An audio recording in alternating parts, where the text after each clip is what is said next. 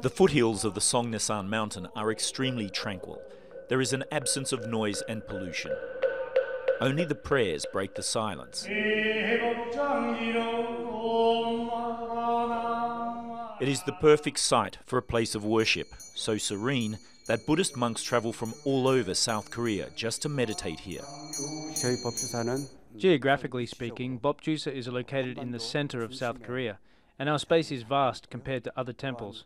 Not only that, we host the Flower Garland Sutra that you can say serves as the identity of Korean Buddhism.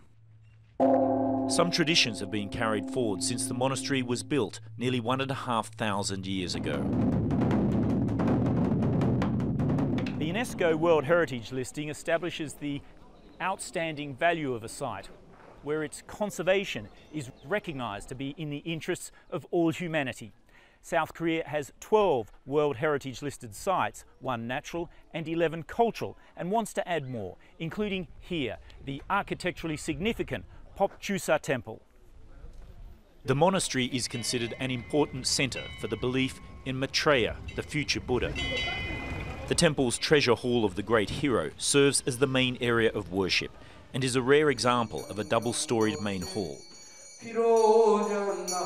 But it's the Hall of Eight Pictures, enshrining paintings of the eight scenes from the historical Buddha life, which makes this place so special.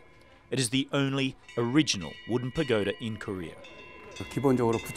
As a basis, we monks look to do good in the world, as we consider Bopjusa's role in a peaceful, reunified Korean peninsula and for the community.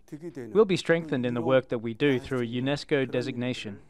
Magoksa is the head temple of the Jogye order of Korean Buddhism, founded in the 9th century. It has what the South Korean government calls 18 cultural gems and is known for its calligraphy. The monastery is one of seven South Korea would like to see eventually listed. Jeju Island is South Korea's only listed natural heritage site, chosen for its geological features and ecological value. The volcanic island contains massive lava tubes deep beneath the earth, as well as significant marine and coastal wildlife. On Saturday, the 42nd session of the World Heritage Committee voted unanimously to include all seven South Korean mountain temples on the listing. Craig Leeson, Al Jazeera, Songnisan National Park, South Korea.